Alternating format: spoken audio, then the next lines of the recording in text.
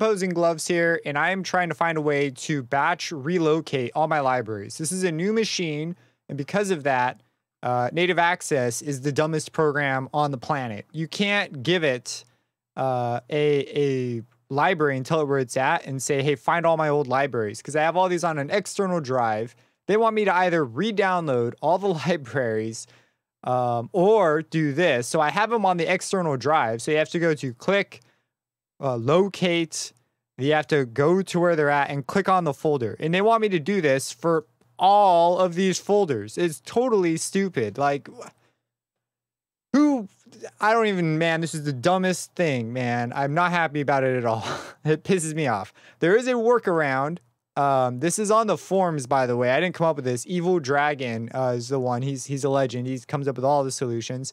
Go to your you you need to back this up now, just in case. So I had to wipe my machine, but I have a laptop that has all the same stuff on it, um, and I was able to grab the registry files from there. But you need to go into the registry. So you just uh, go to reg edit, just type in registry. You go to the registry editor.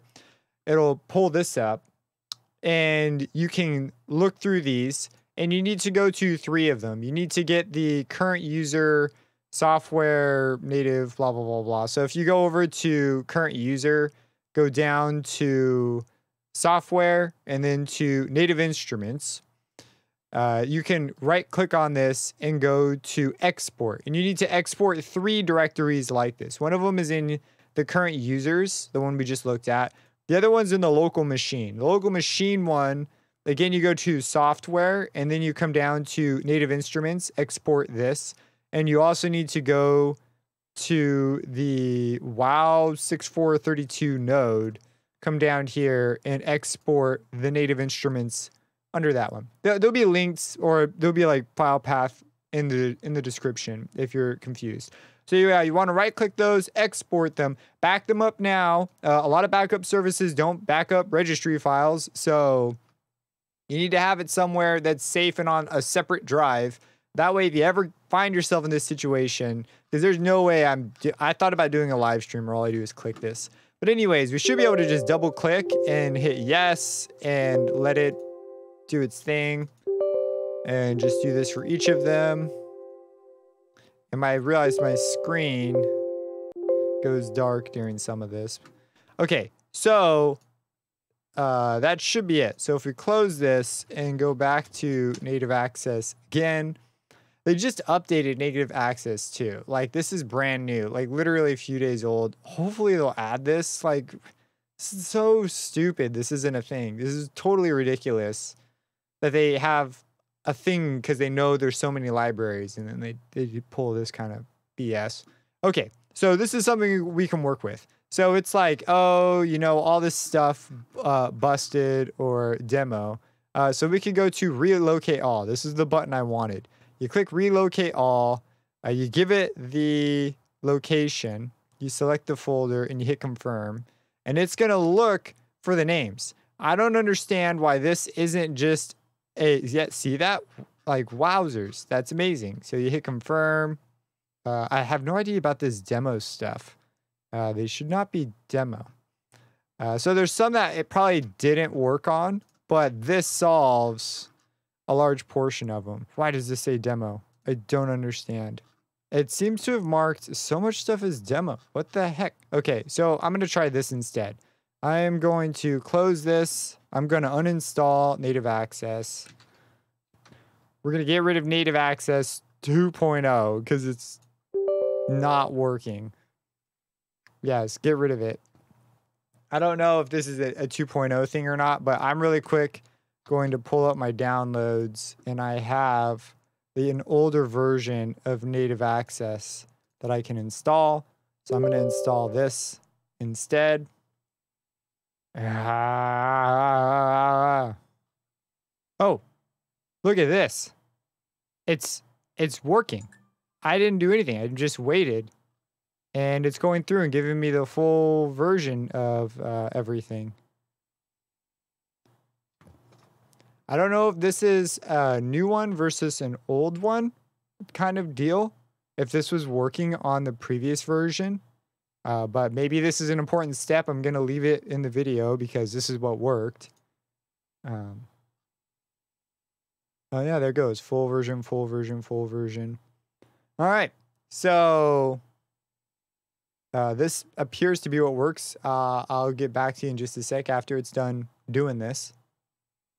All right, we're back. Totally worked. It, it found it all. It's all uh, properly functioning now. Now the the Spitfire instruments are in a nested library, which is why these aren't showing up.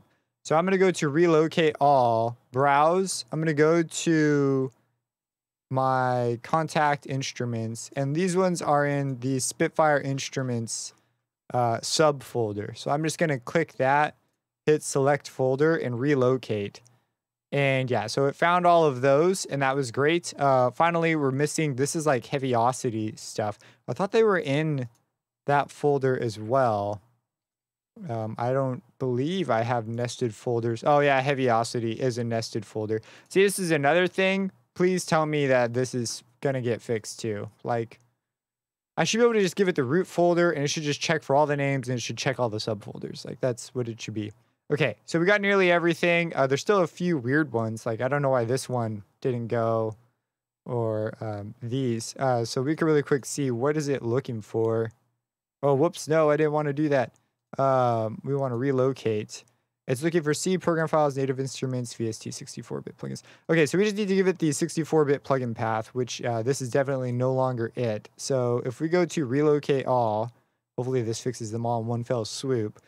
Um, for me, I put them on the C drive. I moved all of them there because this VST 64 bits get installed like all over the place by different uh, manufacturers or programmers or whatever. So um, I put them all underneath common files, VST2, and then Native Instruments has its own folder. So I just select that, relocate. Did it work? It it didn't freaking work. Maybe it just doesn't work on um, on these. Let's see. Let's try going at it the other way. Let's go for this.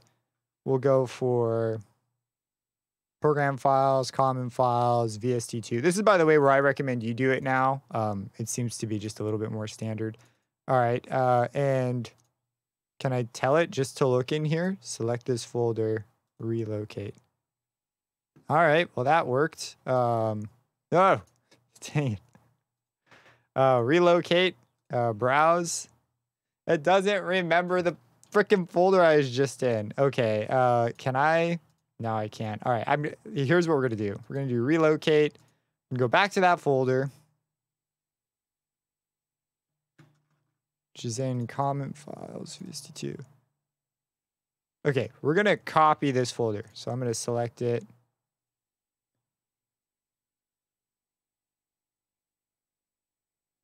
This VST location is invalid.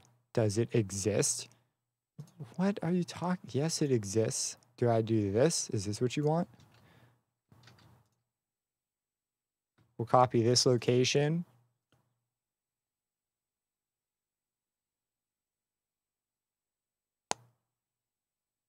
To repair the install. It's the most useless help information I've ever seen. Why is it unhappy with this? This is where, where it's at, isn't it? Let's check in another folder. Native Instruments, Guitar Rig 6, DLL. You guys can see it. It's right there.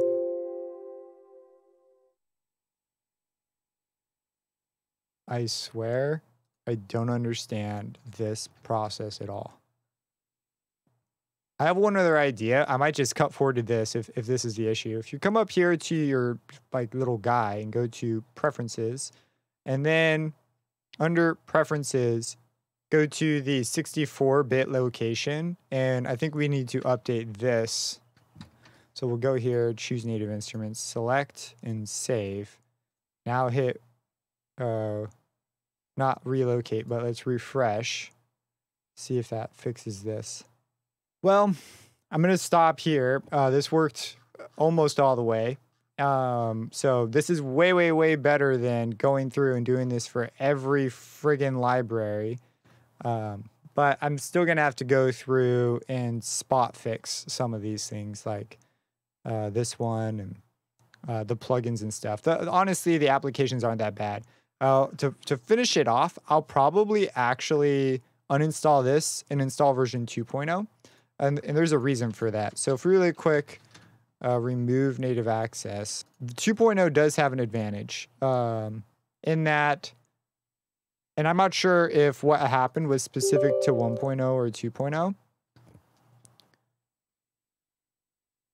I also, while we're here, wish you could specify more than one location for content and it should be able to handle that. Like you should have, you know, I don't know, four or five options in case you, down the line you need to buy a bigger hard drive and it doesn't all conveniently fit on one hard drive anymore.